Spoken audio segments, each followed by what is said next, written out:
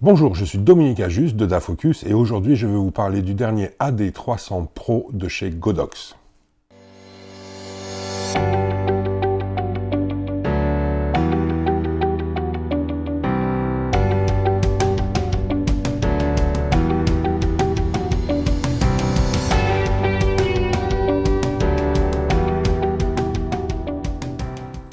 Avant de commencer cette vidéo, je voudrais mettre quelque chose au clair. Cette vidéo n'est pas une publicité, je n'ai pas été payé par Godox pour parler de leurs produits. Ils m'ont juste envoyé un flash et quelques accessoires pour que je les teste et que je vous dise exactement ce que j'en pense. Voilà, le Godox AD300 Pro est arrivé. Comme vous pouvez le voir, euh, il est dans une boîte semi-rigide qui est très pratique et très compacte. On va voir tout de suite ce qu'il y a à l'intérieur. Le AD300 Pro est donc livré dans une mallette semi-rigide très pratique où on retrouve à l'intérieur bien sûr la batterie, le chargeur, le câble d'alimentation pour brancher le chargeur, l'adaptateur pour placer le flash sur un pied et bien sûr le flash en lui-même. La première chose qui m'a sauté aux yeux, bien sûr, quand j'ai vu euh, ce Godox AD300 Pro, c'est sa taille. Euh, il fait à peu près la taille d'un objectif 24-70. Il est vraiment très très très compact, très petit. Euh, il est même en taille plus petit que le AD200 Pro puisqu'il fait 19 cm de hauteur. Et donc très très compact. On a ici le cache qui vient protéger le flash. On a ici un petit réflecteur avec la monture euh, Godox, le flash en lui-même, au dos ici le compartiment pour la batterie. Et voilà, nous sommes prêts à prendre des photos. Nous allons parler un petit peu de technique. Donc le Godox AD300 Pro travaille dans différents modes bien sûr, le mode manuel, le mode TTL et le mode multi-flash. La durée du flash varie entre 1 220e de seconde et un 11 200e de seconde avec un temps de recyclage de 0,01 seconde à 1,5 secondes. Son autonomie est de 320 éclairs à pleine puissance. La synchronisation peut se faire bien sûr au premier rideau ou au deuxième rideau. Nous avons 9 diaphragmes de 1 sur 256 à 1 sur 1, pleine puissance donc par incrémentation de 1 dixième. Nous avons 5 groupes et 32 canaux. Le récepteur intégré fait 2,4 GHz et a une portée de 100 mètres. La température est à 5600 Kelvin, plus ou moins 200 Kelvin. La lampe pilote, quant à elle, est un pavé LED de 12 watts, un équivalent de 100 watts, qui peut varier en température entre 3000 et 6000 degrés Kelvin, avec 10 niveaux d'intensité, ce qui est très pratique également pour faire de la vidéo. On va maintenant regarder l'interface de ce flash. Ici, vous avez donc le bouton qui permet d'allumer et d'éteindre, le bouton marche-arrêt. Le bouton qui vous permet donc de tester le flash. Le bouton qui vous permet d'activer ou de désactiver la radio, donc le récepteur, et qui vous permet également de passer en synchronisation haute vitesse.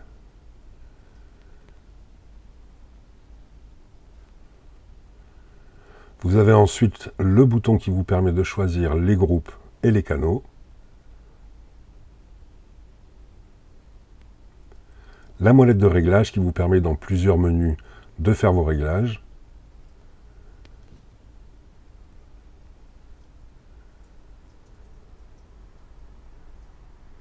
Le bouton mode qui vous permet donc de naviguer entre les différents modes, le mode multi, le mode manuel et le mode TTL. Le mode dédié à la lampe pilote, qui vous permet donc d'allumer ou d'éteindre la lampe pilote, bien sûr, mais qui vous permet également de changer la puissance de cette lampe. Vous avez 10 degrés d'intensité variable. Et vous pouvez également changer la température de la lampe pilote de 3000 à 6000 degrés Kelvin.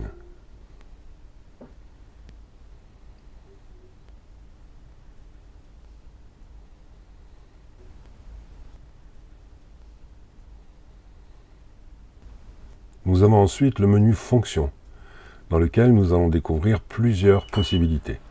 La fonction numéro 1 va activer ou désactiver le bip du flash.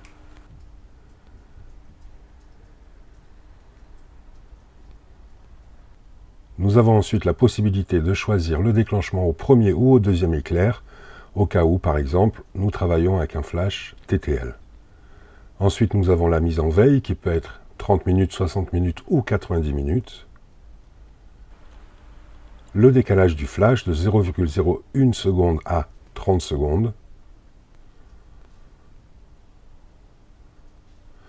La possibilité donc d'intégrer le flash à des masques, c'est-à-dire de déclencher ou non de manière séquentielle le flash.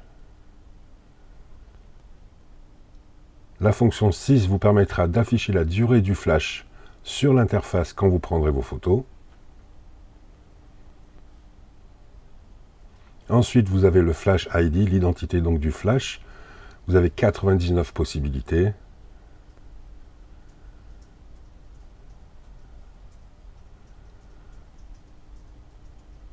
Et enfin, le mode couleur qui vous permet une meilleure stabilité donc de la balance des blancs, de la température des flashs à plus ou moins 100 Kelvin, alors qu'elle est d'origine à plus ou moins 200 Kelvin. Quand vous activez ce mode, quand vous baissez la puissance de votre flash, il faut décharger le flash, la charge résiduelle, en appuyant sur le bouton de test de flash.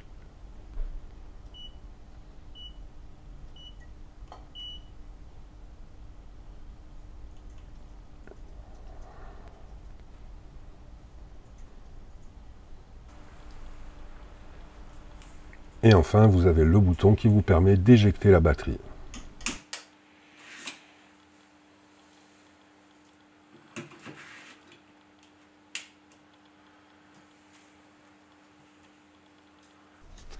Donc voilà pour le Godox AD300 Pro. Euh, je vais vous montrer maintenant comment monter le support qui est ici. On va tout simplement mettre la petite vis ici et on va visser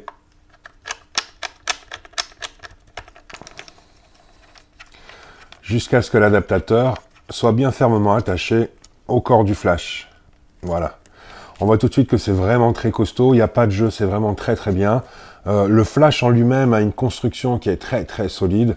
Euh, on est sur du plastique, mais on a quand même quelque chose qui est très compact et très très résistant. Euh, je m'en suis déjà servi pendant plusieurs semaines, j'ai fait pas mal de photos avec. je n'ai trouvé pour l'instant aucun défaut de fabrication. La monture, quant à elle, est euh, la monture Godox. Euh, vu le diamètre donc de ce flash, on ne peut évidemment pas euh, y mettre de monture Bowens. en revanche, ce qui est intéressant, c'est que on va pouvoir, grâce à un adaptateur, monter toutes vos boîtes à lumière et accessoires Bowens. Je vais vous montrer ça tout de suite. Nous avons ici cet adaptateur qui peut fonctionner pour du flash Cobra, mais également pour euh, ce AD300 Pro. Il suffit ici d'enlever la petite entretoise qui nous permet donc euh, de mettre dans cet adaptateur des flash Cobra et de positionner le flash ici à l'intérieur. Et ensuite, on vient serrer avec cette vis ici. Voilà, de manière à avoir notre flash attaché à ce support-là. Et maintenant, on peut y mettre tous les accessoires Bowens que vous pouvez avoir dans votre studio. Vraiment très pratique. C'est vraiment très très stable, bien compact. Ça tient très très bien. Je vais maintenant vous montrer quelques petits accessoires également euh, dans la gamme de, de Godox. Par exemple, ici, nous avons cet accessoire-ci qui vient donc se positionner à l'avant de votre flash qui vous permet soit d'avoir un petit bol tout simplement, soit en enlevant cette petite bague, vous pouvez donc adapter des gels colorés ici.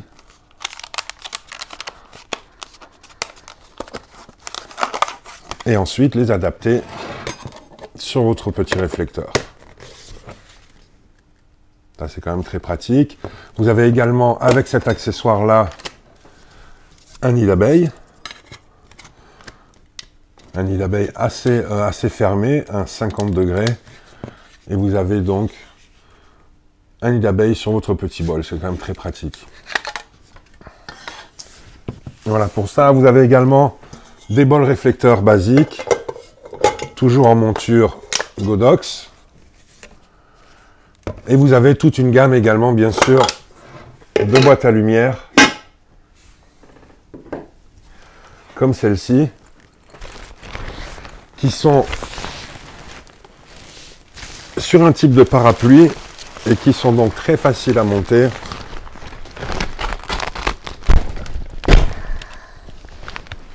Comme ceci. Et donc, vous pouvez également les monter sur votre flash, comme cela.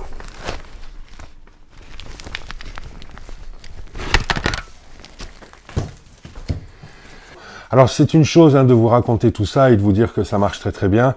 Euh, le meilleur moyen de vous faire une idée, c'est de vous montrer quelques photos qui ont été produites avec ce flash.